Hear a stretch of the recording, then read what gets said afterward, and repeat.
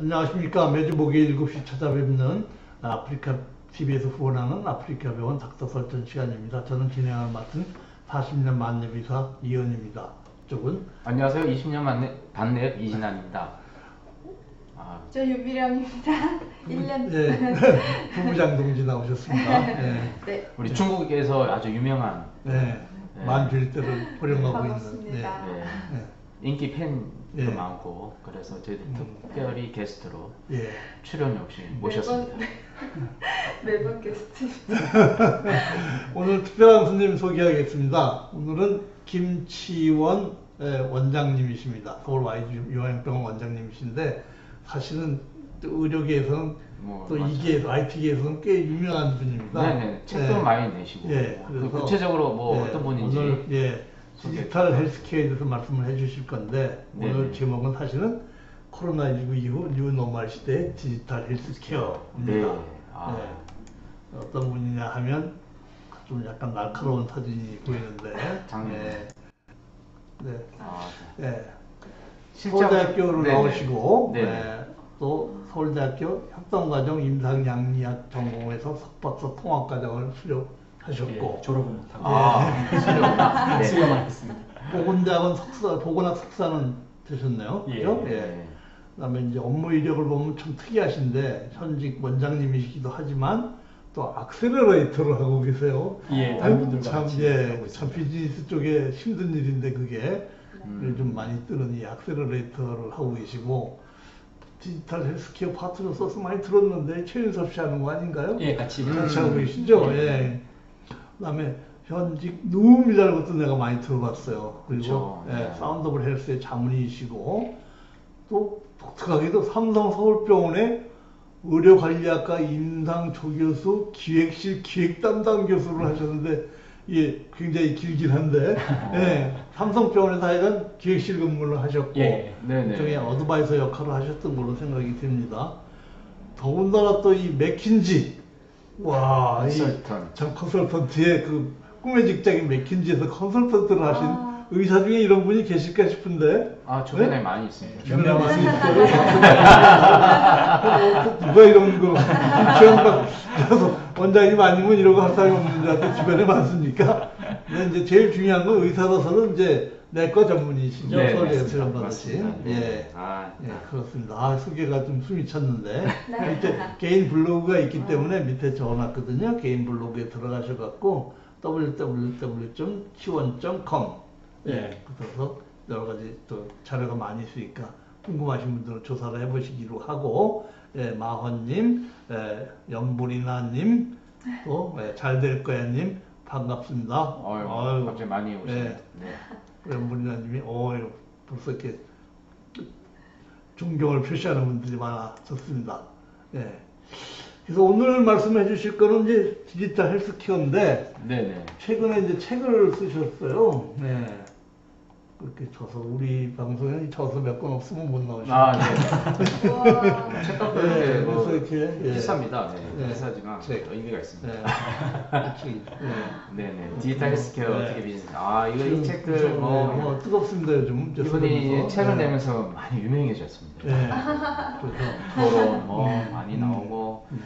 지금 뭐 내용도 음. 보면 아주 지금도 네. 필독서 네, 4차 특히 산업혁명. 이제 네.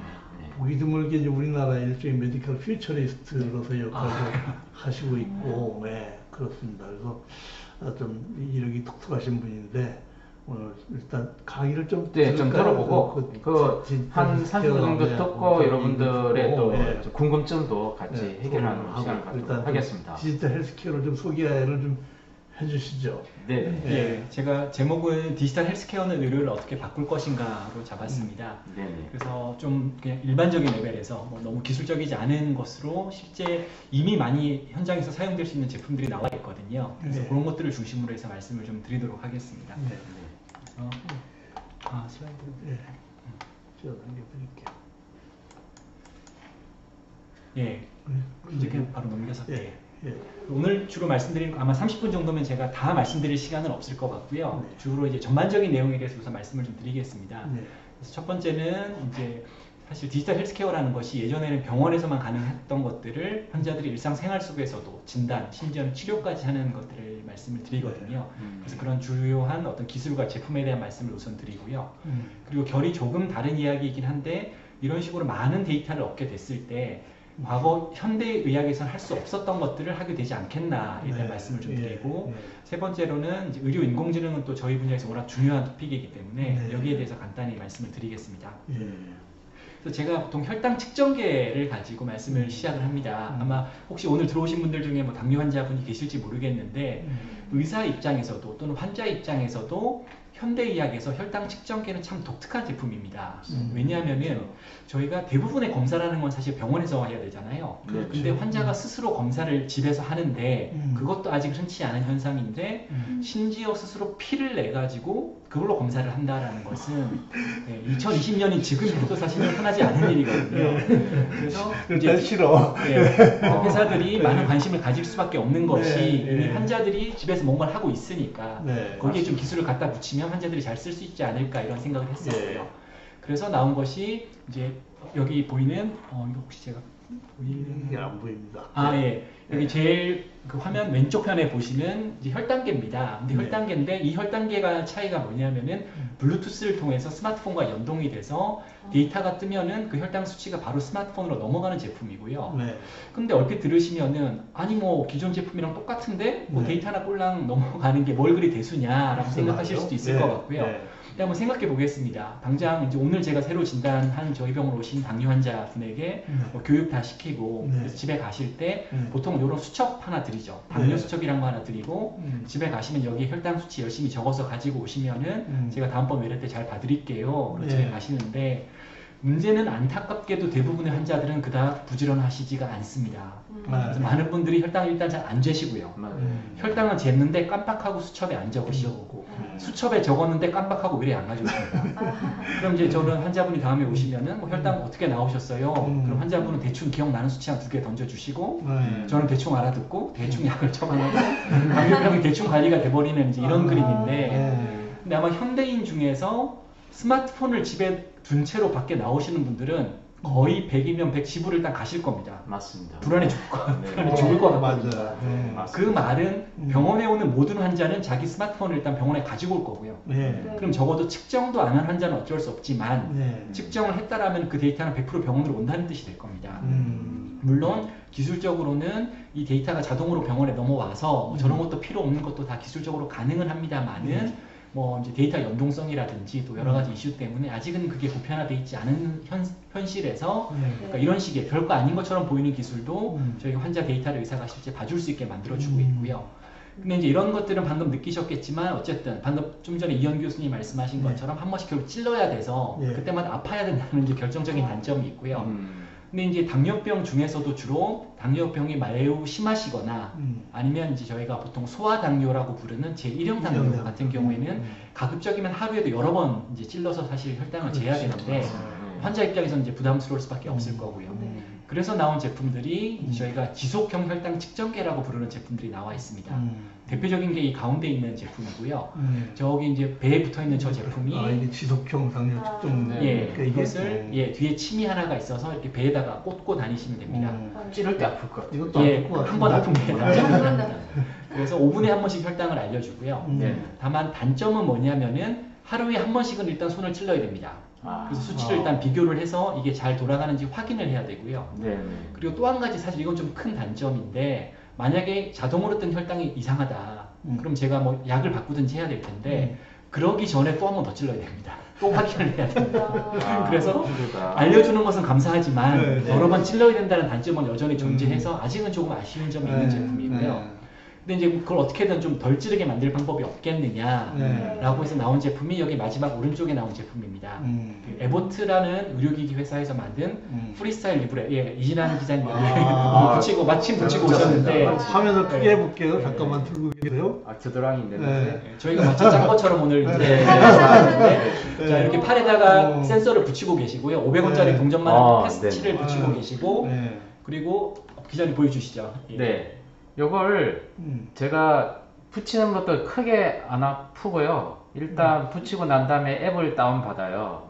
다운받으면 이런 앱이 뜨거든요. 자 보시면 이런 앱이 떠요. 그래가지고 여기 여기다가 음. 어짠 NFC처럼 접촉만 되면 음. 얘가 지금 혈당을 체크해서 잠깐만요. 뭐 항상 이렇지만 다시 하겠습니다. 자 이게 붙여서 체크를 합니다. 그럼 바로 81이라는 수치가 음. 바로 뜹니다. 네, 맞습니다. 네, 이게 예전 같으면 그냥 한번 찔러가지고 피를 찍찍 짜가지고 해야 되는데 네. 제가 원하면 언제 어디서나 바로 바로. 지금 한번 더 할까요? 우와. 또 하겠습니다. 또 81, 또 나왔습니다. 야, 예. 와. 좋네. 이렇게 네. 편합니다. 네. 야, 그래서 참 좋은 그래서 세상이네. 이 제품의 네. 가장 큰 장점은 음. 아까 말씀드렸듯이 하루 한번 확인할 필요가 없고요. 음. 네. 2주 동안 확인할 필요도 없고 여기 뜬 수치는 그대로 믿으시면 됩니다. 음, 그 그러니까 이거를 딱딱한테 갑니까 이게? 어, 음. 뭐 아직 자동으로 가지는 아, 않겠지만은 그래요? 음. 예 물론 시스템적으로는 가능할 거고요. 네. 근데 이제 어차피 다 저장이 되어 있으니까 의사한테 가서 음. 보여주면은 음. 지난 뭐 2주 또는 한 달 동안의 데이터들을 음. 분명히 이제 의사가 음. 보고서 진료를 음. 할 수가 있을 겁니다. 근데 이거 제, 제가 저 해보니까 한 이틀 동안 사용했는데 제가 어떤 음식을 먹을 때 혈당이 가장 높아지는지 아, 이것도 바로 감이 오겠네. 저 바로 음. 체크를 해서 확인할 그렇죠. 수가 있습니다. 음. 그래서 음. 이게 굉장히 좋은 것 같아요. 그래서 음. 제가 스스로 조심할 수 있다는 거. 그 당뇨 수첩은 이제 없어지겠네. 이게 수첩 그래픽이 필요가 없잖아요. 네, 제 그치. 그래픽이 네. 계속 이어져서 이렇게 음. 어, 언제 어떻게 어. 제일 높았는지 어, 체크가 피크가 딱딱 네. 보이네. 이 아. 매- 또 메모 기능이 있어서 음. 네. 어, 점심 몇시 뭘 먹은지 그때 뭐 쓰면 있었다. 그걸 어. 할 수가 있습니다. 음, 아 그래서 야. 너무 편한 것 같아요. 네. 이게 개인 음. 의사가 만약 제 걸 좀 챙겨주면 훨씬 더 좋을 것 같은데. 결국 이 데이터를 가지고 아무래도 이제 의사들이 봐주는 음. 이제 일들이 분명히 일어날 수 있을 것 같고요. 네. 이제 그 전을 위한 인프라들이 하나씩 갖춰지고 있다라고 음. 보시면 될것 너무 같습니다. 편해졌네. 네. 음. 그래서 조금 넘어가서 다른 제품들 네. 가지고 조금 말씀을 드리겠습니다. 네. 다음 다음 다음 슬라이드로 다음 다음 슬라이드 예, 갈까요? 시간을 아껴야 될 것 같아서 또 조금 신기한 걸 가지고 하나 말씀을 드릴게요. 네. 여기는 이제 스마트 알약이라고 이름이 뜨는데 네. 정확하게는 스마트 센서가 들어간 알약이라고 보시면 되겠습니다. 아, 약에 센서 같은 예, 거. 그러니까 이제 보시면은 여기에 그 파스 같은 게 있는데요. 환자는 이제 이 파스를 평소에 여기 명치에다가 붙이고 계셔야 됩니다. 아. 그 상태에서 음. 이 센서가 들어간 약을 환자가 먹으면, 먹으면, 네. 위에서 소화가 되겠죠. 네네. 네. 소화가 될 때 신호가 만들어져서 음. 파스로 신호가 갑니다. 음. 그럼 파스가 그 신호를 받아서 스마트폰으로 여기다 보내주게 됩니다. 무슨 신호가 만 그래서 환자가 약을 먹었는지 안 먹었는지를 알수 아, 있는 제일 아, 정확한 기술입니다. 아, 아, 아. 보통 이거를 말씀을 드리면은 음. 반응이 반반 갈리는 것 같아요. 음. 우아하는 분들도 계시고 아니 세상에 약 하나 먹이는데 뭘 이렇게까지 고급 기술을 써야 되느냐. 근데 이제 결국 그겁니다. 음. 그만큼 환자분들이 게으른 분들이 많으시고 음. 또는 게으르진 않아도 깜빡해서 약을 안 드시는 분들이 많다 보니까 맞아요. 이렇게라도 해서 어떻게든 환자분들이 음. 약을 잘 먹어야 예, 병도 잘 관리가 되고 음. 또 부수적으로는 이런 걸 만든 제약회사 입장에서는 그만큼 약이 많이 팔리겠죠. 보험회사에서도 매출도 관심 많고. 있겠는데요? 예? 아무래도 네. 환자들이 약을 안 먹어서 생긴 부분이 있을 텐데 네. 약을 잘 먹어서 의료비가 음. 줄어들면 분명히 음. 도움이 되는 부분이 있을 겁니다. 근데 네네. 한 가지 아쉬운 점은 뭐냐면 사실 이 약은 이 Abilify MyCite라고 하는 약 자체는 미국에는 이미 시판이 되어 있고요. 어, 네. 근데 문제는 역시 돈입니다. 본인.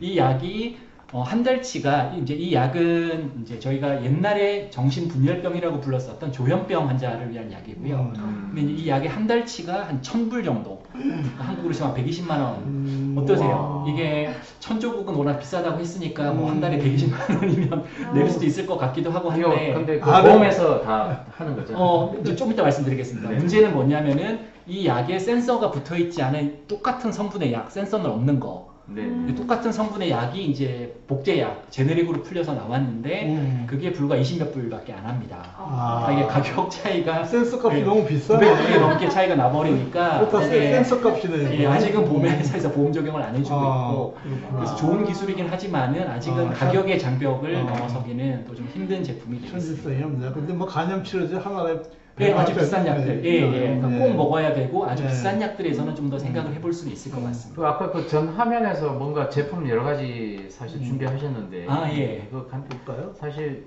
네 요거는 이제 역시 아까 혈당 측정기처럼 기존의 환자들이 쓰던 어떤 기기에다가 최대한 묻어서 센서를 넣는 제품들 아. 중에 하나인데요. 여기서는 흡입기라는 제품을 가지고 왔습니다. 아, 흡입기를 하면은. 아마 네. 아시겠지만 주로 천식 환자들 네. 이제 여기 있는 부분 입에다가 물고서 눌러주면은 음. 흡입 액이 안으로 들어가고 음. 그래서 이제 천식 있는 환자분들이 기관을 확- 기관지를 확장시켜서 천식 음. 증상을 좋게 하는 제품이죠. 어, 응급에도 좋겠네. 근데 이제 이 네. 제품의 차이는 이제 약 자체는 기존에 있던 약들이고요. 네. 여기서 차이는 요 센서를 얘네가 만들었습니다. 네. 그러니까 환자가 이 약을 쓸 때마다 이게 기록에 남고요. 음. 그럼 이거 기록에 남아서 어디다가 쓸 거냐? 음. 일단은 첫 번째는 이 기록이 중요한 게 환자가 어떤 약을 여러 번 쓴 기록이 있으면 이 환자의 다음번 치료제를 바꿔야 됩니다.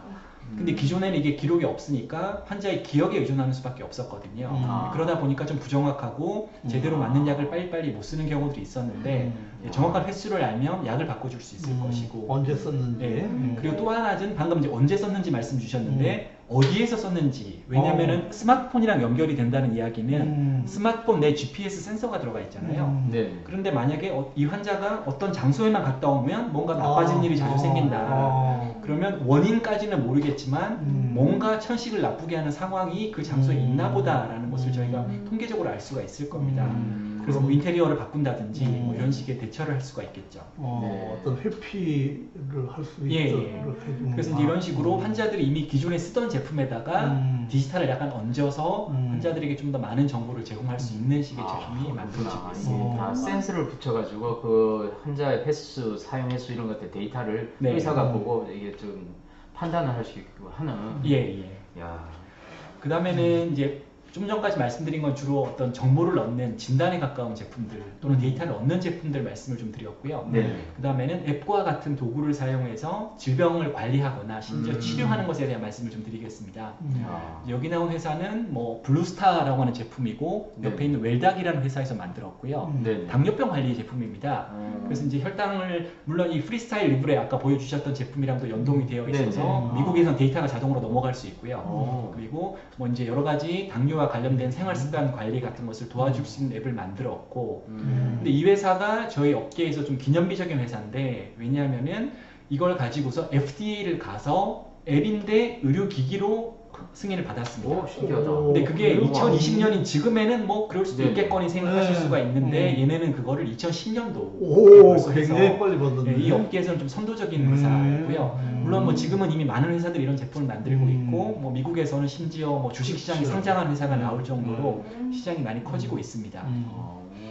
아, 그다음 그렇구나. 조금 네. 이제 한 단계 더 넘어가서 네. 이제 앱을 가지고 좀 질병 자체를 좀 치료한다는 개념의 회사들로 음. 나오는데요.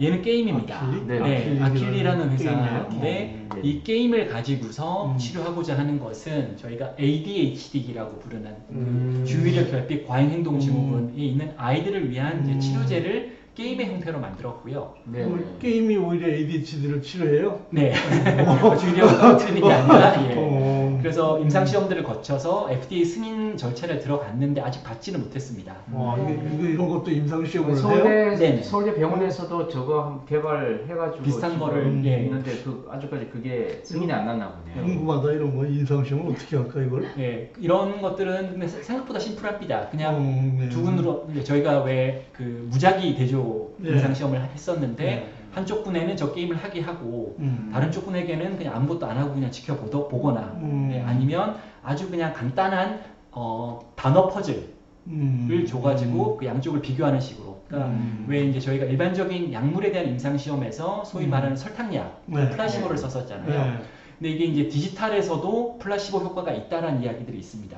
어, 연구 결과들이 나오고 있습니다. 그, 그, 수 네, 왜냐하면 있죠. 사람들이 스마트폰의 음. 의존도가 너무 커져가지고 아, 아, 왠지 맞아. 스마트폰이 이런 걸 해줄 수 있을 거야라는 아, 기대감이 있다 그렇죠, 보니까 그렇죠, 그렇죠. 디지털에도 플라시보 어. 효과가 있다라는 보고들이 있고요. 뭔가 이런 게임을 하면 내가 예, 좋아질 거야 하는 네, 기대감이 기대가 있구나. 있으니까 아. 그거를 이제 다른 예, 좀 음. 작은 게임을 하나 또, 또 하나 더 만들어가지고 그거를 플라시보로 쓰는 식의 임상 시험을 했습니다. 그 굉장히 어렵겠는데 그 플라시보가 만드는 예, 게 생각보다 좀 쉽지 않습니다. 네.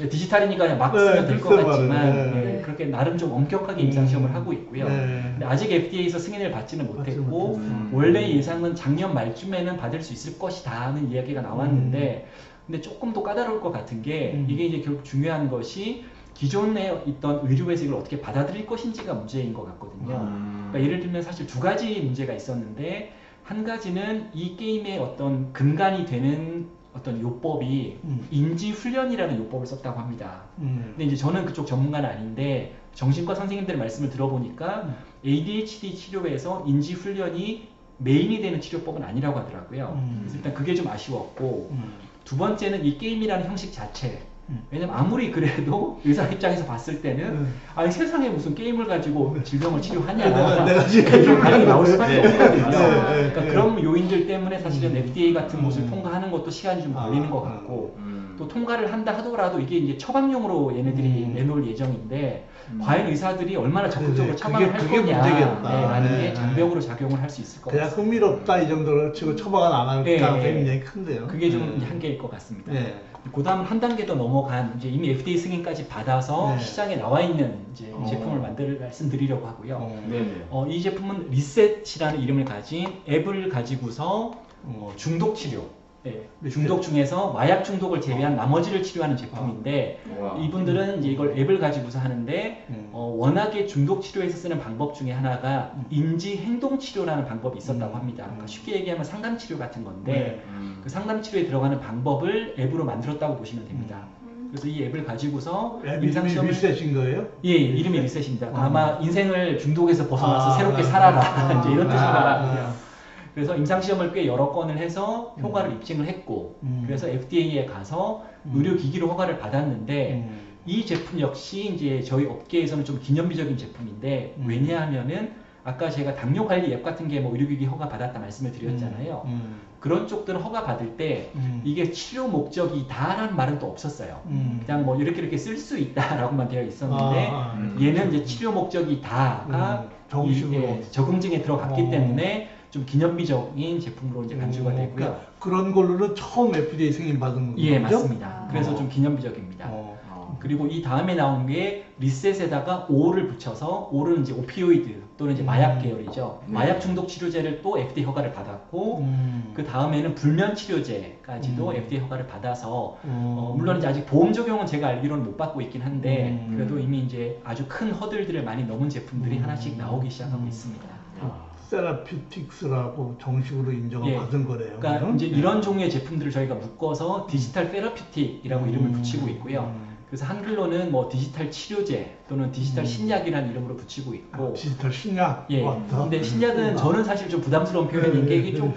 아무리 그래도 이걸 가지고 신약이라고 하기엔 너무 좀 과장된 게 아닌가 네. 싶어서 음. 개인적으로는 디지털 음. 치료제라는 표현을 선호합니다. 네네. 음, 아이, 꿀꿀이 고모님 반갑습니다. 네. 그다음 예, 예. 주시면은 그 다음에는 이제 뭐 좋은 제, 제품 들을 가지고서 데이터도 많이 모았는데 음, 네네. 이걸 가지고 현대의학에서 못하던 것들을 해볼 수 있지 않을까에 대한 말씀을 좀 드리겠습니다. 아. 예. 그래서 그 다음 슬라이드 주시면은 네. 안녕하세요, 예, 고, 예. 고모님. 예. 그러니까 제가 말씀드린 레벨은 이런 겁니다. 물론 이제 여기 있는 아. 제품은 애플워치인데 예. 얘는 애플워치 한 애플워치. 5세대일 텐데 이런 예. 제품보다는 말고 한 애플워치 한 10세대쯤 되면 이런 게 되지 않을까 하는 생각 아직은 상상입니다. 아직 아직은 안 나온 네, 게 이건 아니군요. 상상입니다. 네, 네. 상상. 여기 있는 제품은 지금 있지만 네. 이런 상상을 해봅니다. 갑자기 아. 애플워치 알람이 뜨는 거예요. 아. 그래서 야 너 한 5분 있으면 심근경색이 생길 것 같아. 응급실 한번 가봐야 그래 야. 살수 있을지도 몰라. 이런 게 가능하지 않겠나. 아, 근데 막상 갔는데 왜 왔어요? 아, 깜짝 놀랐어요. 그랬죠. 폴스 포지티브 많으면 이거 아, 어, 곤란하죠. 응급실로. 네. 아. 잠도 안 오겠어요. 네. 자는 동안에 막, 야, 너 급하다, 지금. 이러면 자다가 또 이제 돼. 빅데이터와 이제 AI의 이제 그게 네. 굉장히 네. 향상됐을 예, 때 좀- 그거를 조금 이제 말씀드리겠습니다. 네. 네. 그러니까 사실은 제가 가끔 강의 때 저 사례를 말씀을 사례가 아니고 이런 상상이라고 말씀을 네. 드리는데 한, 웃는 분들이 많으시죠. 그러니까 네. 너무 당연한 반응입니다. 왜냐하면은 어, 이게 현대의학에서는 현대의학이라고 하는 것은 음. 기본적으로 환자에게 무슨 일이 터진 다음에 시작을 했습니다. 음. 네. 이렇게 가슴이 아픈 환자가 일단 응급실을 와야 지금 무슨 아. 방송인지 모르겠는데 하는 분이 꿀꿀이님이 아, 계셔가지고 아프, 아프리카 네. 방송에서 의학의 최초로 개설한 아프리카 네. 병원 방송이고요. 예. 지금 오늘 주제는 뉴노멀 시대 디지털 헬스케어 4차 산업혁명에 대해서 예. 전문가 김치원 교수님을 모시, 아, 원장님을 모시고 네, 지금 이야기 들어보겠습니다. 예. 설명이 됐죠? 예, 계속 하시죠. 예, 병원에 왔을 때뭐 네. 심전도를 찍어서 네. 이상이 있다든지 뭐 네. 피를 뽑아서 이상이 있으면 뭐 네. 복잡한 검사도 하고 약도 쓰고 그러니까 네. 항상 모든 일은 환자의 일이 터진 다음에 시작됐죠. 네. 이게 반드시 의학 교과서도 항상 그렇게 나왔었고 예. 그럼 만약에 이러면 어떨까? 여기 있는 뭐 이런 제품들은 지금도 이미 쓰고 있지만 네. 뭔가 뭔가 매우 편한 방법으로 이런 거 말고 훨씬 편한 방법으로 음. 저희가 평소 신전도를 계속 측정을 하고 있다면 무슨 일이 발생을 할까? 예. 그러면 이럴 개연성이 존재합니다. 아 이게 우리가 측정을 안 해서 몰랐는데 예. 측정을 해봤더니 네. 사실은 심근경색이 생기기 전부터 아주 미세한 변화는 이미 나타나기 시작했구나. 음. 물론 그게 한시간 전에 나타나지 네, 않겠지만 뭐 네. 3분 전, 5분 전에는 음. 이미 변화가 나타났었는데 음. 다만 우리가 평소 데이터를 측정을 안 했기 때문에 그런 게 있다는 사실을 몰랐고 음. 있었다 하더라도 너무 미세한 변화라서 이게 사람 눈에는 안 보여서 아, 몰랐는데 음. 또 인공지능 같은 너무 음. 좋은 데이터 분석 tool이 그렇죠. 나오니까 음. 아 이제는 이게 보이는구나 음. 사람 많이 살리겠는데요. 네, 이런 게? 가능할 수 있을 음. 겁니다. 근데 음. 이건 뭐 약간의 과장이 있는 사례이긴 한데 네. 이게 이제 과장이 아니라는 음. 제품들이 나오기 시작합니다. 음. 예를 들면은 여기 있는 이제 제품은 아까 제가 왜 지속형 혈당 측정계라는 네. 5분에 한 번씩 혈당 측정하는 음. 제품을 보여드렸었는데요. 그 제품을 만든 메드트로닉이라는 회사에서 음. IBM의 왓슨 인공지능을 가지고서 앱을 만들었는데요. 음. 뭐냐면은 5분에 한 번 혈당을 측정을 해보니까 음. 음. 이게 저혈당이 생기기 전에 무슨 변화들이 생기더라 는 걸 잡아낸 거죠. 음. 그래서 앱에서 이 얘기를 해줄 수가 있는 겁니다. 너한 음. 1시간 뒤에 음. 저혈당이 생길 것 같아. 어, 그거 굉장히 중요한 사인인데. 네, 근데 현대의학에서는 네. 아시겠지만 의학 교과서에는 뭐라고 돼 있냐면은 음. 당뇨병 환자가 머리가 어지럽거나 땀을 뻘뻘 흘리거나 힘들면 음. 한번 측정해 보거나 측정을 못하면 뭐 사탕 하나 먹고 넘겨라. 그러니까 음. 증상이 생긴 다음에 뭔가를 했었는데 아. 예측이 가능하면은 미리 먹어서 미리. 음. 저혈당이 사실 훨씬 위험한 증상이다 보니까 그러네. 그걸 네. 넘길 수 있을 겁니다. 아. 그리고 이제 그게 한 단계 더 넘어가는 제품이 나오고 있고요. 아. 네, 어, 조금 음. 이제 복잡해지는데 네, 네. 그리고 아, 예. 그러니까 이제 여기 있던 CGM이라고 붙어 있는 이 부분이 앞에서 말씀드렸던 지속형 혈당 측정계입니다. 그래서 네. 5분에 한 번 혈당을 얻어서 네. 자기네 제품으로 넘겨주고 있고요. 네. 그리고 앞서 말씀드린 것처럼 이 데이터를 분석할 수 있는 기술이 이미 나와 있습니다. 음. 네네. 근데 이제 얘와는 또 별개로 뭐가 있냐면은 여기 인슐린 펌프라는 제품이. 예, 음. 예전부터 있었었고요. 아. 그러니까 글자 그대로 음. 몸에다 꽂아서 몸에다 인슐린을 넣어줘서 당뇨병 음. 혈당 관리에 쓰는 제품이 예전부터 있었습니다. 이제 네. 같이 연동을 해놨구나. 예, 근데 이제 예전에는 이게 연동이 없었거든요. 네. 그냥 의사가 미리 세팅을 해놓으면은 그에 네. 맞춰서 인슐린이 들어갔었는데, 예. 야, 그럼 굳이 이럴 필요가 있느냐. 음. 이미 저희가 혈당을 측정을 계속 하고 있고, 예. 그리고 그 혈당을 가지고서 분석까지 다 했다면, 음. 그 결과를 인슐린 펌프에 갖다 붙이면, 음. 그때 그때 맞춰서 인슐린을 많이 넣었다 음. 적게 넣었다 할 수 있지 아. 않겠느냐라는 게 이론적으로 분명히 가능했을 겁니다. 음. 아. 그리고 실제 같은 회사의 메드트로닉에서 제품을 음. 만들어서 실제 시판되고 있습니다. 어, 지금 현재 예. 시판되고 그래서 있고요. 여기 끝에 있는 이제 음. 여러 세대, 뭐 한 4세대 정도를 거쳤고요. 음. 네. 마지막 세대의 제품은 음. 스스로 혈당이 많이 올라가는 것, 떨어지는 것을 이 기계가 알아서 조절해 주겠다. 아. 가 이미 가능한 수준의 제품이 되었습니다. 많이 인슐이 많이 나갔다가 네, 적게 나갔다가 나갔다가 알아서 예, 해줄 수가. 있어서. 이상 뭐예요 그럼?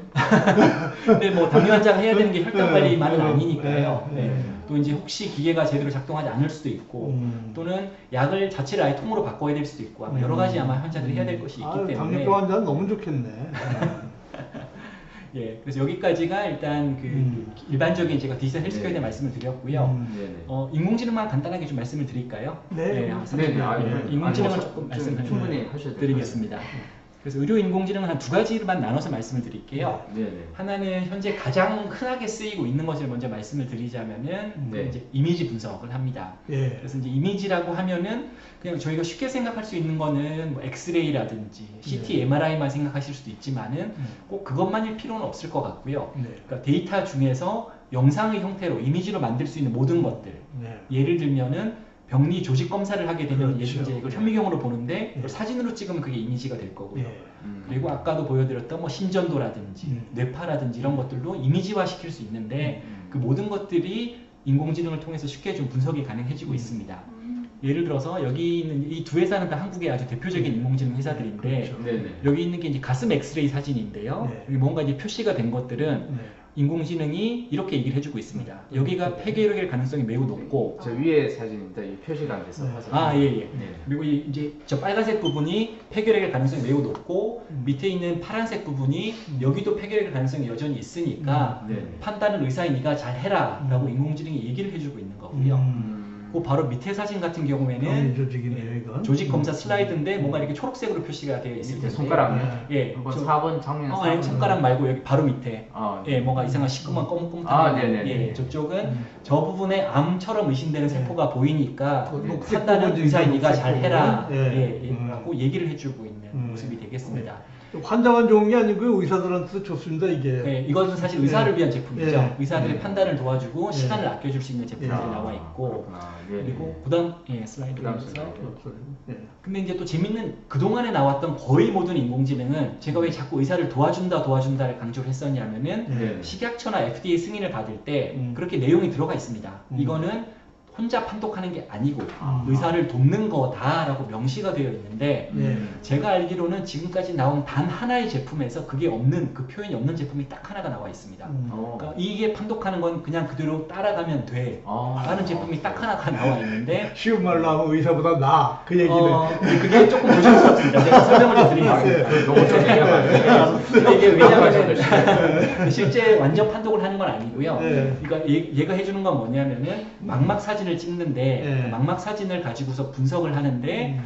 어떤 질병이 있는지를 다 찾아내는 게 아니고요. 음. 얘가 이제 해주는 것은 막- 당뇨병 환자에서 음. 저희가 그 막막 질환이 없어도 아시겠지만 1년에 한 번씩 무조건 막막 검사를 하도록 되어 있습니다. 그렇죠. 예, 왜냐하면은 눈이 나빠질 수 있는데 증상이 없어도 병이 네. 진행할 수 있기 때문에 그렇죠. 예. 근데 이제 예를 들면 저 같은 내과 의사들이 당뇨병 환자들 진료를 하면은 아, 1년 되셨으니까 이번에 어디 밖에 안과 가셔서 아, 검사 그렇죠. 한번 받으세요 이렇게 네. 말씀을 드려야 되는데 음. 네네. 안타깝게도 적지 않은 환자분들은 또 게으르시죠. 그렇죠. 네, 그래서 아니 내가 약은 꼭 타야 되니까 내과 네. 의사를 만나는데 네. 안과 의사까지는 안 만나거나 네, 근데 그게 한국같이 의사 만나기 쉬운 나라는 그나마 괜찮은데 그렇죠. 음. 미국 같은 나라에서는 이제 뭐 힘들죠. 예약도 네. 해야 되고 네. 멀리 가야 되고 이러니까 맞아요. 거의 절반 이상의 환자들이 제때 아, 그렇겠다. 안과 네. 망막 검사를 안 받는다고 합니다. 네. 음. 그러면 그래서 이 제품은 어떤 용도냐면은 이 망막 촬영기를 원래는 안과에 있고 안과 의사가 그걸 판독을 해야 되는데 음. 이때는 망막 촬영기가 저 같은 내과 의사 진료실에 들어와 있고요. 아, 그럼. 환자가 찍으면은 아. 얘는 어디까지 얘기해 주냐면은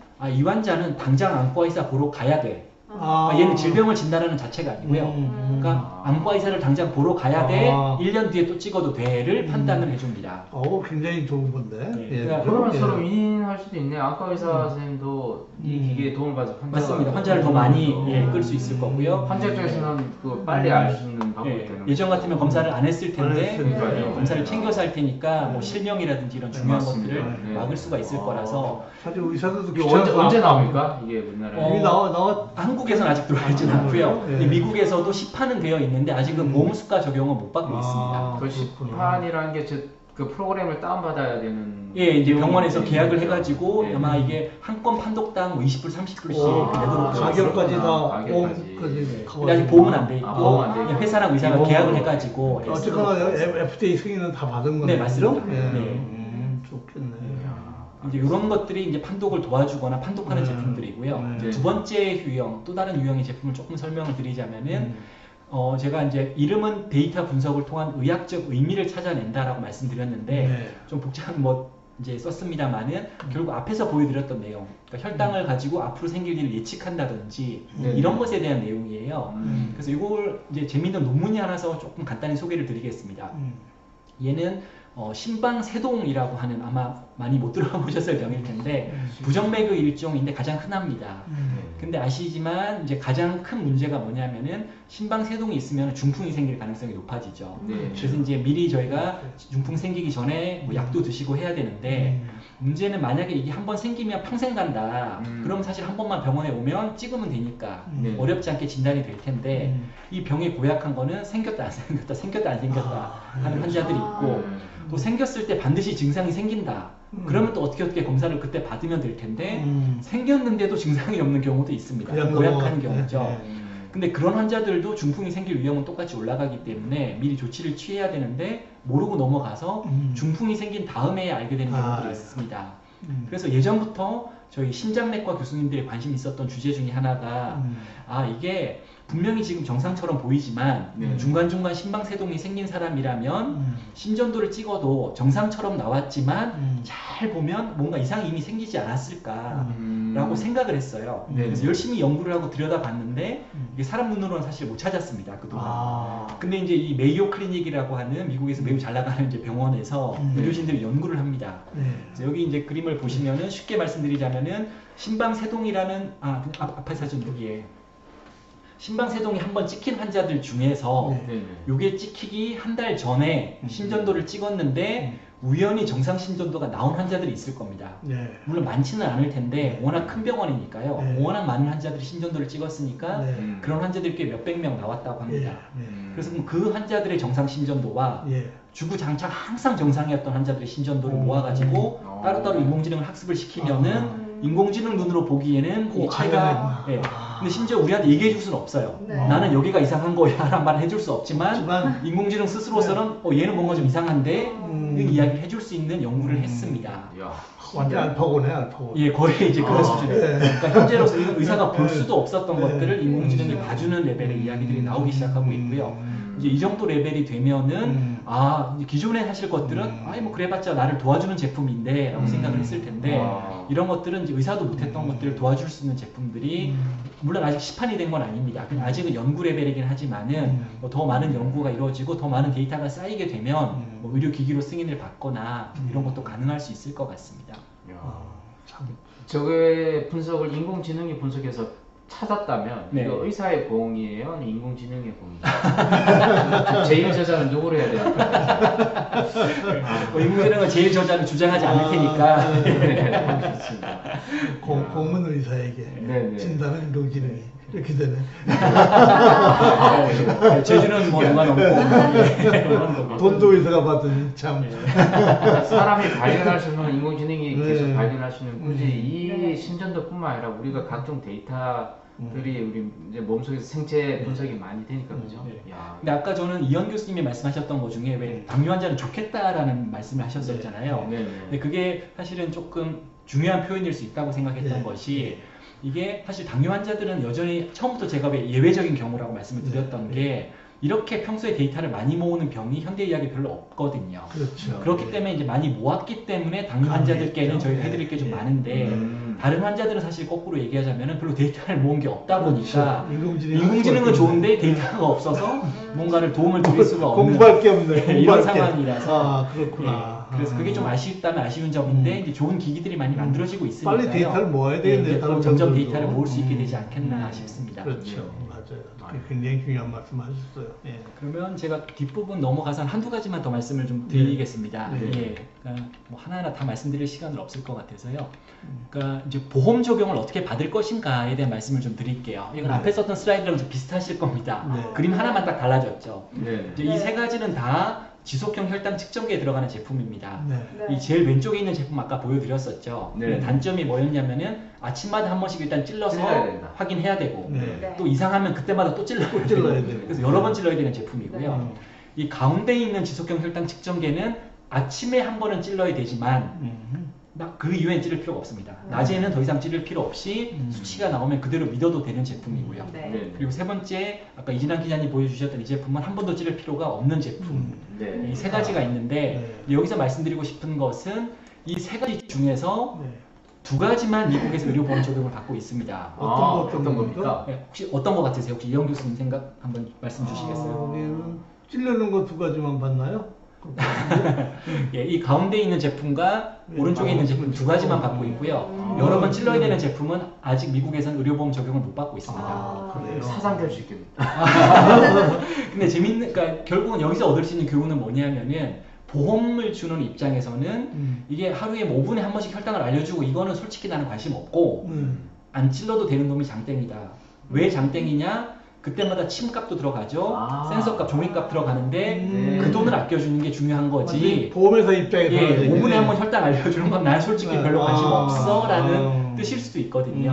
음. 그래서 이게 어떻게 보면 환자분이 얻으실 수 있는 가치와 아. 보험이 어, 생각하는 그거하고 가치가 다른 좀 지- 다를 수 있는 측면의 하나의 사례가 될것 예, 같습니다. 아, 예. 그리고 이제 조금 다른 관점에서 제가 하나 더 예. 보험 적용과 관련된 말씀을 좀 드리겠습니다. 인공지능과 관련된 내용이고요.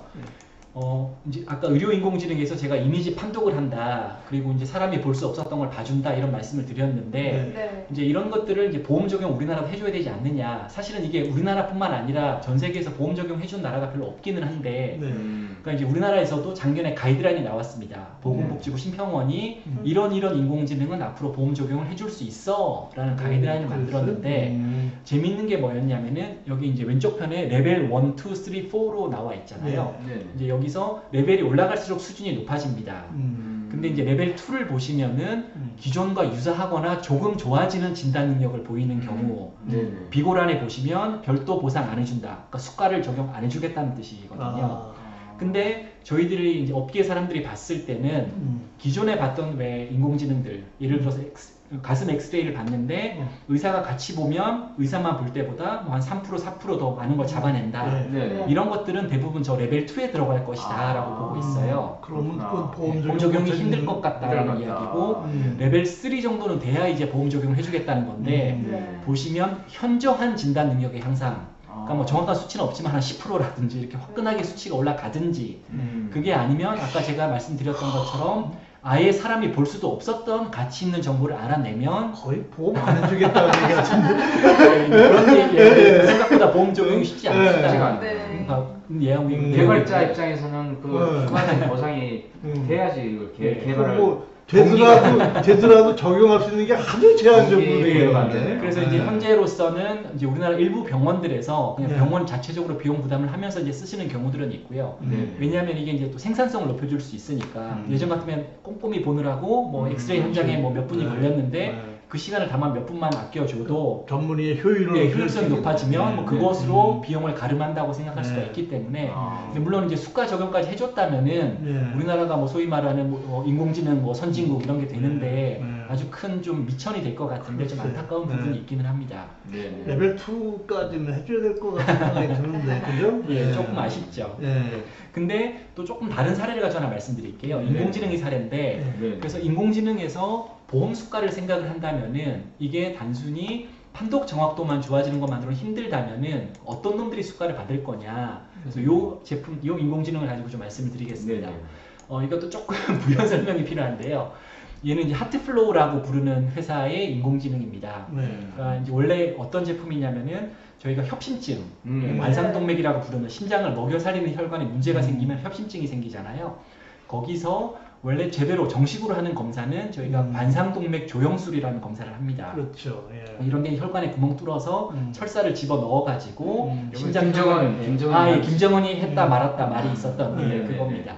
근데 이제 철사를 뚫, 뚫는다는 것에서 느끼시겠지만 위험하죠. 위험성이 있고 음. 또 비용도 많이 들고요. 음. 네. 네. 그러다 보니까 아니 꼭 필요한 환자는 우리가 꼭 해야 되는데 음. 이 중에서 꼭 안 해도 되는 환자가 있을 텐데 좀 음. 발라냈으면 좋겠다. 음. 그러면 이제 의료비도 적게 들 거고 음. 환자도 편할 거고요. 위험, 위험. 네. 그래서 이제 예전에 썼던 현재까지 많이 썼던 방법 중에 하나가 CT를 찍는데 특수 CT, 네. 관상동맥 CT라는 걸 찍어서 네, 네. 이게 혈관이 좁아진 환자들은 굳이 검, 아, 혈관이 안 좁아진 환자들은 뭐 굳이 안 해도 되지 네. 않겠냐고 했었는데 음. 문제가 뭐냐면은 어떤 환자들은 혈관은 좁아져 있지만 안에 지나가는 피는 잘 흐르는 환자들이 또 있다고 합니다. 어. 그러니까 그런 환자들은 사실은 좁아져 있지만 굳이 또 검사를 할 필요가 없었던 거예요. 의 음성이 나오고. 예, 일종의 그런 경우죠. 아. 그래서 이게 근데 CT는 아시겠지만 그냥 어떤 정적인 한 순간을 찍는 음, 이미지니까 맞아요. 이걸 몰랐었는데 네. 이 회사에서 한 건 뭐냐면은 그 CT 데이터를 가지고서 음. 혈류가 그러니까 피의 흐름을 추정해주는 알고리즘을 만들었습니다. 음. 아. 그러니까 그렇게 되면은 CT를 찍고 나서 이 시스템으로 분석을 해보면은 음. 실제 피가 잘 흘러가는지 아닌지를 인공지능이 얘기를 해줘서 음. 이게 잘 흘러가는 환자들은 굳이 관상동맥 조영술 같이 더 위험하고 비싼 검사를 할 필요가 없는 거죠. 네. 아. 그래서 이 회사 이 제품의 가장 큰 가치는 뭐 판독을 했다 이런 게 아니라 음. 네. 관상동맥 조영술 같이 비싼 검사를 할 필요가 없는 환자들을 음. 선별해 줄 수 있는 검사. 비싸고 위험한 예. 검사. 그러면 보험 입장에서는 역시 바로- 아 내가 의료비를 아끼겠구나. 아, 바로, 음. 라는 계산이 바로 나오죠. 어, 바로 음. 보험에서 도입을 하게 네, 되는 네. 그래서 아직 이제 미국 같은 경우에는 정식 수가는 아니고요, 임시 수가를 받고 있습니다. 사보험 얘기입니다. 아니, 아니요, 그죠? 메디케어. 메디케어. 어, 메디케어에서 해주고 음. 있습니다. 국가보험이잖아요. 예. 공공도 그래요? 예, 메디케어에서 해주고 있습니다. 아니 우리 건강보험공단도 이 시스템은 도움이 되잖아요. 일단. 음, 그죠? 음. 그리고 영국에 바로 아시는 도입될 것 NHS, 같습니다. 음. 영국 NHS도 임시 임시수가로 적용해주고 있고 아. 일본에서도 임시수가를 해주고 있고요. 음. 아. 문제는 뭐냐면은 의사가 얘가. 미국 아 아닙니다. 얘는 미국에서 첫 번째 임시수가가 1,500불이었습니다. 음. 그러니까 CT까지 합해서 1,500불이 아니고요. 아. CT 찍고 나서 어? 데이터 분석만 하는 게 1,500불. 추가로 천을 불 내야 예. 되는구나. 그리고 그게 수가가 한번 깎여가지고. 한 1,000불 좀 안 되는 액수가 나왔는데 음. 과연 대한민국에서 CT도 아니고 CT를 분석하는 기술에 과연 1,000불이나 수가를 줄수 있을 것이냐. 우리나라는 그냥- 되게 10분의 1 정도이니까 10만 원 정도. CT 값을 포함 뭐 이렇게. 내 생각에는 되게 큰 도움이 되잖아요. 수술하고 네, 네, 결정을 네, 해주잖아요. 네, 네. 환자 입장에서는 뭐 100만 원좀 부담스럽더라도 네. 아까 말한 대로 포함시켜가지고 네. 수가를 네. 매기는 방법으로 사실 국가 경, 경제 전체적으로 보면 네, 네, 국가적으로 네. 이익인 거예요. 근데 또 어떤 분은 또 이런 얘기를 들으시면 아니 세상에 이거 음. 뭐 이미 다 디지털 제품인데 음. 네. 그럼 뭐꼭 청불시 받아야 돼? 이거 뭐 사실은 어차피 디지털이니까 싸도 되잖아. 네. 근데 다들 잘 아시겠지만 디지털 제품은 두 번째 제품부터 매우 싼 거고 그렇죠. 디지털 첫 번째 제품은 네. 몇백억, 몇천억씩 좀 들어간 돈이기. 때문에 네. 예, 그 가격은 정당화될 수밖에 없을 것 네. 같고요. 물론 이제 앞으로 다른 나라들이 많이 쓰고 나서 가격이 떨어지고 나면 대한민국에도 좀 싼 값으로 네. 들어올 수 있지 않을까 아. 뭐이 정도 기대를 해야 될 것 같습니다. 음. 미국은 그렇게 좀 앞서가고 있고 그러니까 되게 생각외로 우리가 생각했던 거 이상으로 지금 어 뭐 보험 수가도 일단 받는 것도 있고 네, 그죠? 네. 그런데 우리나라 아직까지 그렇게 받는 케이스도 지금 없는 거잖아요 현재 네네 아직 뭐 한국에서는 전혀. 네. 근데 아. 재밌는 건 뭐냐면은 아까 그 제품 하트플로라고 부르는 그 제품에 주요 연구진 중에 서울대병원 교수님이 들어가 계십니다. 아, 임상 시험에 네. 참여를 하셨고요. 어. 네네 그래서 사실 한국 분들이 이렇게 기여는 많이 했는데 네. 막상 이 제품을 한국에서는 이제 쓰고 있지 못하는. 이제 이런 상황이 왜 이런 상황이 생길까요? 이게 아직까지 이게 인공지능과 이제 자, 이제 여러 가지 우리 원격 의료라는 게 여러 가지 어, 문제들이 같이 접목되면서 음. 네. 자꾸 이렇게 하나의 음. 예, 걸림돌이 되지 않냐. 음. 네카가 좀 역할을 잘 해줘야 될 것 같은데요. 음. 그죠? 네카 같은 데서. 음. 될까요? 네. 차, 제 차가 그렇게 역할을. 아, 썰렁했습니다. 추웠어요. 네. 그러면 뒷부분으로 가서 몇 가지 한두 가지만 네, 말씀을 네. 드리겠습니다. 네네. 어, 여기 이제 의사의 처방과 관련된 말씀을 좀 드릴게요. 네. 그러니까 이게 이제 보험 적용을 오케이. 그러니까 음. 보험 적용을 받았다 치고 네, 네. 근데 이제 의사들이 결국 이것을 현장에서 써야 의미가 있는 그렇죠. 거잖아요. 네. 근데 이제 이게 조금 까다로운 이제 재밌는 또 상황이 발생합니다. 그러니까 이런 겁니다. 이런 제품을 만드는 회사들은 뭐라고 주장을 하냐면은 음. 아 예전엔 우리가 환자에 대한 데이터를 많이 몰랐잖아요. 네. 음. 근데 이렇게 많은 데이터를 알게 됐으니까 네. 뭐 의사 선생님들께서 환자에 대해 훨씬 많이 알고 음. 뭐 진료를 하시면 환자에게 좋지 않겠어요라고 얘기를 하시는데 네. 근데 솔직하게 의사 입장에서는 아니 옛날엔 내가 이런 거 안 봐줬는데 음. 갑자기 저는 똑같이 있는데 갑자기 와서 이만큼 데이터 봐주세요. 그렇죠. 근데 따로 뭐 돈 드릴 건 없고요. 그냥 그 의사니까 알아서 잘 봐주세요. 뭐 버든만 그러는. 예, 라는 말이 네. 나온다면은 야 이게 꼭 의사들이 반가워할 수 있는 상황이냐? 이게 이제 사실은 측면이 의사도 네. 생활인이기 때문에 네, 안 그래도 내. 삶이 힘들어 죽겠는데 이거 의사니까 더 해주세요라고 한다면은 사실 그런 거 많아요, 은근히. 근데 이거 사례로 하나 네. 말씀을 드릴게요. 이게 네. 재밌는 사례가 하나 작년에 네. 나왔는데 네.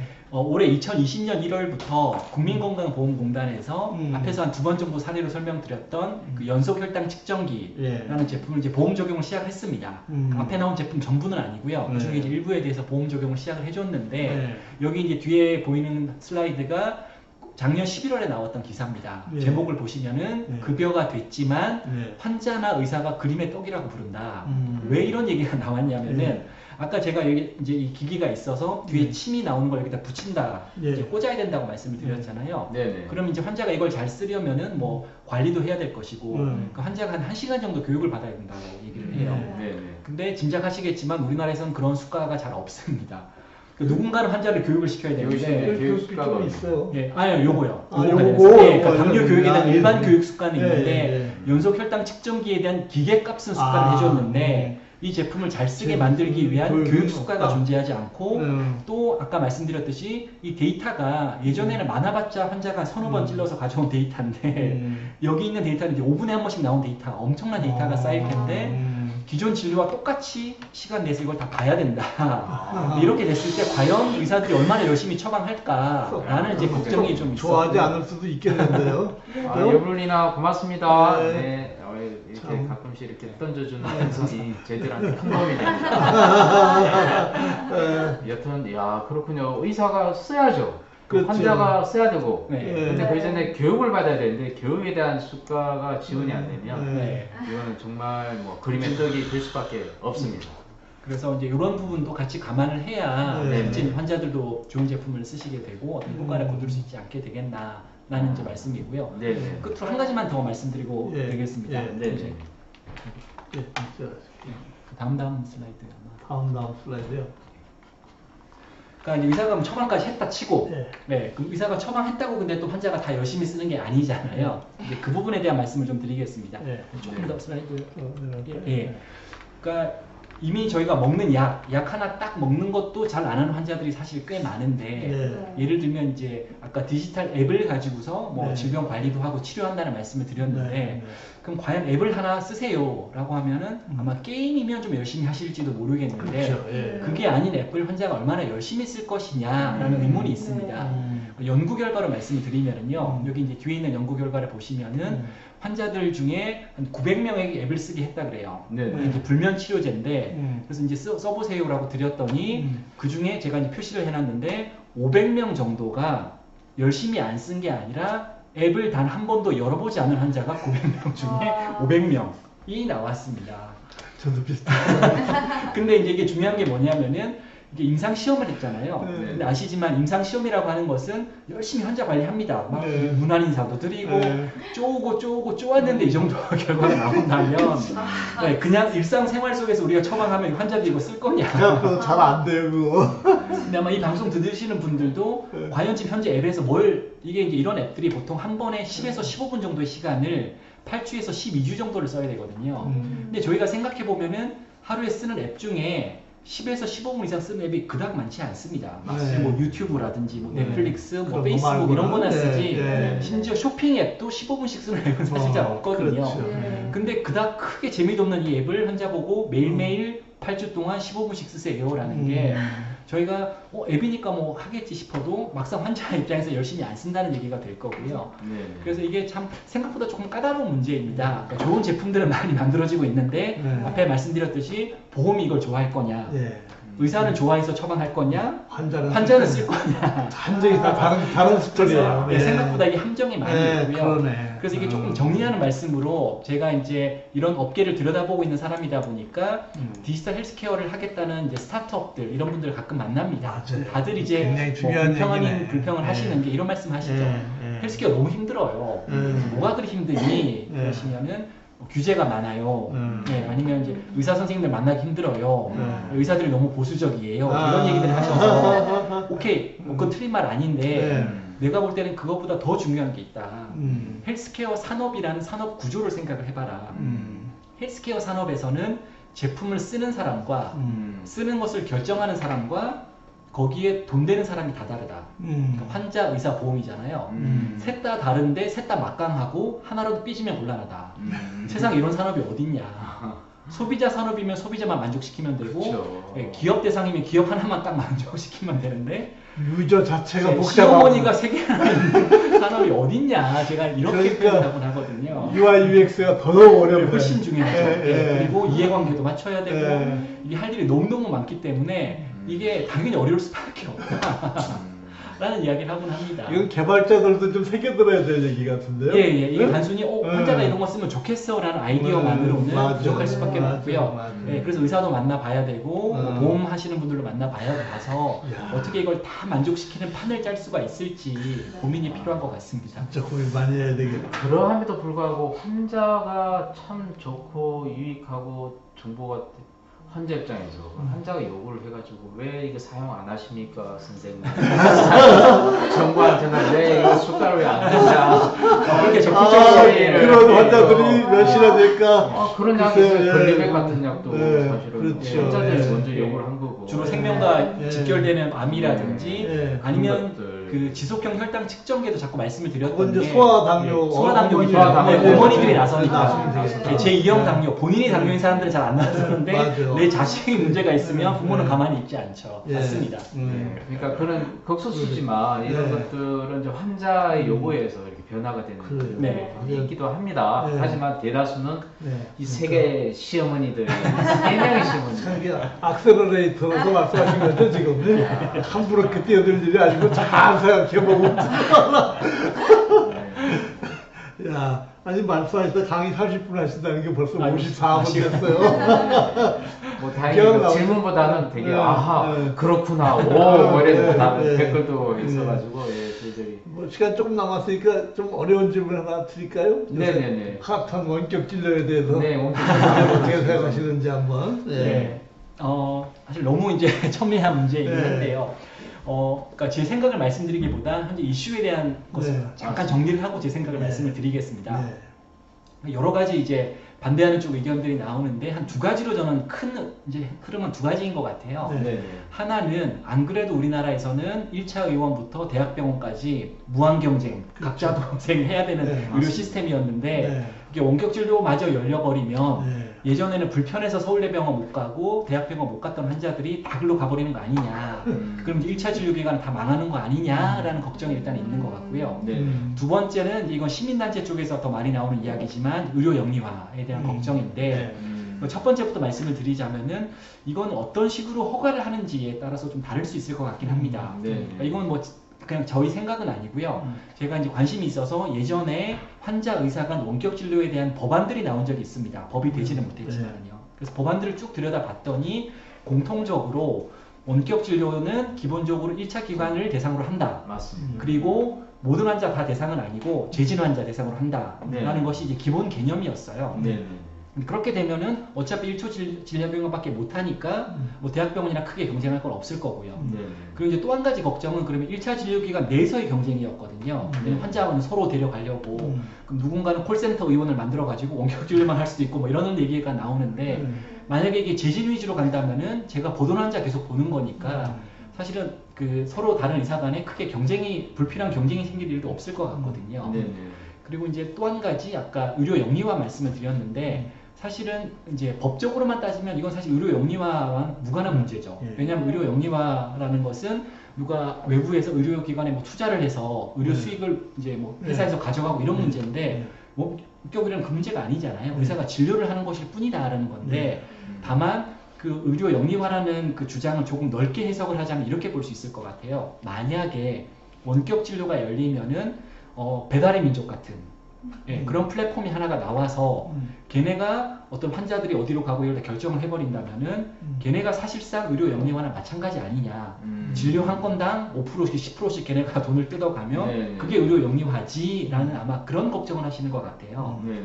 근데 역시 이거는 앞서 말씀드린 재진 환자 위주로 간다는 것으로 좀 해결될 수 있을 것도 같습니다. 왜냐하면 음. 재진 환자 위주로 온다면은 플랫폼이 저한테 해준 게 없거든요. 음. 예, 어차피 저를 보는 환자가 저한테 온 거고 음. 플랫폼이 해준 것은 새로운 환자를 저한테 데려다 준 게 아니라 원격 진료를 잘 할 수 있는 어떤 시스템 같은 것들. 음. 음. 이미 현재 진료 현장에서 저희가 뭐 전자의무 기록 같은 거 이미 쓰고 있잖아요. 뭐 예를 들면 한 달에 한 20만 원씩 내고 쓰고 있을 텐데, 음. 그러니까 그런 회사들은 사실 그런 시스템만 제공을 해주는 거지 음. 어떤 저한테 큰 영향을 미칠 수 있을 만한 힘을 못 가질 겁니다. 음. 그렇다면은 그 의료 영리화에 대한 이슈도 자연스럽게 같이 해결되지 않을까. 음. 그래서 이게 시스템을 짜기에 따라서 음. 그런 좀 의문들을 좀 불식시킬 수 있을 것 같고요. 음. 그래서 좀 조심스럽게 한다면은 저는 해볼 수는 있을 것 같고, 음. 근데 다만 조심스러운 건 뭐냐면은 이런 식으로 조심스럽게 접근을 했으면은 큰 반발 없이 좀 갈 수도 있었을 텐데 네. 이게 좀 일부 부처에서 그러니까 음. 보건복지를 잘 그러니까 복지 보건을 잘 모르는 부처들에 계신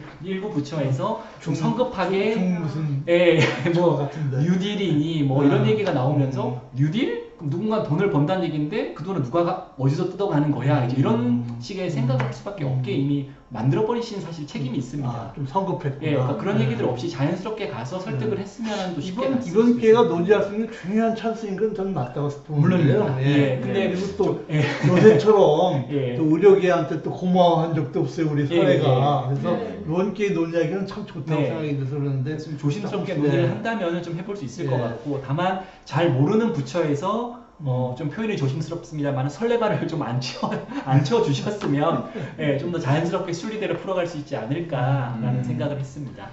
의협이나 병협도 조금 이제 입장이 많이 옛날보다는 네. 완화가 되는 것처럼 느껴져요. 예, 예. 실제로. 여러 가지 예. 다양한 목소리들이 예, 나오는 예, 것 예. 같고요. 그래서 과거처럼 그냥 막 결사반대 이런 건 아니신 것 같고 네. 세상이 자꾸 변해가니까. 네. 실제로 어떻게- 일본 같은 경우도 이제 네. 환자 일본도 주치 제도는 없습니다. 네. 없는데 이제 그럼에도 불구하고 음. 초진 환자 일단 보는 거고 재진 환자를 볼 때 최소한 6개월 동안 본 환자들 대상으로 음. 이후에 원격 진료. 그러니까 그만큼 그 환자에 대해서 잘 안다는 음. 조건을 음. 달기 때문에 음. 이제 그렇게 그것도 가는 거죠. 음. 우리도 A시당 좀 만성 질환자들 위주로 음. 원격 진료를 이제 시작하려고 한 거였고 해서 일단 대상을 좀저 제한하면서 아까 음. 어저 재진 환자 중심으로 해서 음. 한다면 한번 해볼만 하지 않나 하는 생각을 그래서 합니다. 뭐 원격 진료만 하자는 건 아니잖아요. 네, 네, 맞습니다. 어디까지나 건강 어, 그 네, 네. 오프라인 진료가 있고 네, 네. 그다음에 네. 온라인이나 원격을 네. 같이 가, 가미해서 유연하게 진료를 하자는 거지. 네네. 네, 온라인만 진료를 하자는 건 아닌데 혹시 그런 게 약간 뭐 콜센터를 그러면 그러면 좀 하도 하도 머리가 좋은 사람들이 예. 많은 세상이니까. 근데 또 그 법안에도 사실 네. 그 내용들이 이미 들어가 있더라고요. 네. 그거는 금지하는 예, 거예요. 그걸 막기 위한 네. 안들이 이미 다 그런 들어가 건 있어서. 네. 옛날에 그 뭐죠 아파요닷컴 생각이 아, 나요. 예, 아파요닷컴. 네, 그자 쓰라린 기억이 있잖아요. 예. 근데 이제 그 48만 건 일본 같은. 경우는 이제 그래서 응급 질환의 경우 네. 이제 연락이나 아이들이 밤에 연락 음. 때도 그때 원격 진료에 대한 좀 허용은 돼 있는 것 같거든요. 네. 뭐 이게 만성 질환이나 네. 그런 뭐 그런 제한된 한 질환이 네. 아니라 그런 경우는 재진보다는 초진을 이제 빨리 네. 결정해야 되는 아, 상황인데 그것도 그런 좀 경우가 좀 델리키트하네 네, 그것도. 문제가 있을 네. 수 있을 것 같습니다. 그, 참 굉장히 중요한 사인인데 네. 열이 밤에 연락하는데 애를 갖다 어. 응급실에 가야 될지 안 갈지를 갖다가 네. 원격 의사가 만약에 그걸 좀 판단해 주게 하면 일반인들은 참 좋은데 삐딱해서 잘못 판단하면 큰일로 대항으로 연결될 수도 있는 소지가 예, 많은 그런. 문제 또 보험에서 네. 또 이렇게 해결하는 그런 방식이 네. 또, 또 방법은 있긴 있습니다. 네. 네. 아까 그저 신전도 그거는 등산객들한테 좋을 것 같아요. 네. 응? 그 미리 그쵸. 알면 네. 중, 중간에 중, 중, 등산을 중지할 수 있잖아요. 예, 예. 네, 네. 아니 인공지능을 네, 담당하시니까 좀 네. 그런 것좀 널리 알려주십시오. 그래야 되겠네요. 적극적으로. 실제로 그래서 등산 인어 중에 네. 나노 슬레드를 깔아가지고 그 자체가 센서인 옷들도 어. 있더라고요. 예. 그거 입고 가면 어. 이제 알아서 하는 건데 하, 그게 뭐 인프라가 또 받쳐줘야 예. 되니까 예. 자, 옷, 옷만 있다고 되는 예, 게 아니라서 뭔가 의료진도 있어야 되고, 예, 예. 의료진 또 누가 누가 모니터링 할 건지 맞습니다. 네. 그래서 쉽게 해결되는 윤 문제는 팀장 뭐 마지막으로 뭐 질문 하나 하고 마치도록 할까요? 네. 8 시간 중, 지나가죠. 중국의 원격 잘 진료. 중국도 원격 진료 열심히 네. 해요 네. 음. 네. 어떻게 발전할 수 있다. 저는 질문만 늘 제가 잘 모르는. 한국에서 아니면 네, 한국과 중국도 예. 가능할 수 있다고. 아, 그러니까 아, 국가 간에요? 국가 간의 네. 원격 진료. 어 이게 좀 아, 사실 이게 법적인 이슈가 역시 있을 것 같고 네. 기술보다는 네. 예, 이게 이제 그 나라 환자를 누가 진료할 수 있을 것이냐 네. 예, 그러니까 이게 근데 이런 생각을 제가 했습니다 옛날에 원격 진료를 너무 결사 반대하시는 선생님들께 제가 드렸던 말씀인데 네. 선생님 생각해 보십시오 이게 만약에 우리가 무조건 틀어 막았을 때 음. 예를 들어서 중국에 있는 우리 중국 교포의사 한국어를 하시는 분들도 계실 텐데 물론 이제 저희가 처방권을 한국 의사들이 가지고 있으니 중국 의사분이 처방까지는 할 수 없겠지만 저희가 모든 걸 꽁꽁 맨다면은 아까 예를 들어서 밤에 연락했을 때 상담 같은 거를 그 중국에 있는 한국어 쓰시는 의사분들이 음. 상담만 해주는 걸 사실 막을 방법이 없거든요 기술적으로. 네, 네. 네, 네. 그 그분들이 그거 다 잊어버리면 우리는 뭐 할 거냐 한국 의사는 한국 환자에게 음. 그러니까 이런 말씀 사실 드린 적이 있긴 하거든요. 음. 그래서 물론 이게 이제 국경을 넘어서는 순간 얘기가 좀 복잡해지기 때문에 음. 그런 건 오히려 조금 조심스러운 부분이 있습니다만은 거꾸로 그런 것까지 생각을 한다면은 조금 더 한국 의사 입장에서는 우리 환자를 위해서라도 우리가 뭔가를 좀 해줄 수 있는 방법을 찾아야 되지 않을까라는 생각을 합니다. 알겠습니다. 이제 아마 또 다른 타입의 국경 없는 의사회가 아, 네네. 알겠습니다. 하여간 뭐 얘기를 듣다 보니 하도 말씀을 잘 하셔가지고 예 그냥 한 시간이 훌쩍 지나갔네. 네네. 좀 아쉽지만. 예, 아쉽지만 여기서 선생님을 놔드려야 될 것 같고요. 네. 어, 다음 주 주제는 잠깐 예고를 해주세요. 뭐 정신과 관련된 우리 부부의 세계의 어떤 정신적인. 뭐 어. 분석 이런 것도 아. 재밌게 한번 해보는 게 어떨까? 음. 영어로 fascinating. 해본. 네네. 음. 제 네. 의대 후배가 예, 준비를 하고 있습니다. 네, 다음 주 여러분 다음 주 목요일 날 부부의 네, 세계. 네, 부부의 세계 네, 기대해 주시죠. 야한 얘기는. 19금이에요. 네 네. 네, 그럼 다음 주까지 여러분 안녕히 계십시오. 네, 안녕히 계세요. 또 네, 뵙겠습니다. 네, 감사합니다. 네. 네. 원격 교류는 상당히 필요성 느끼지만 이게 의사분들 예. 하고 항상 처음에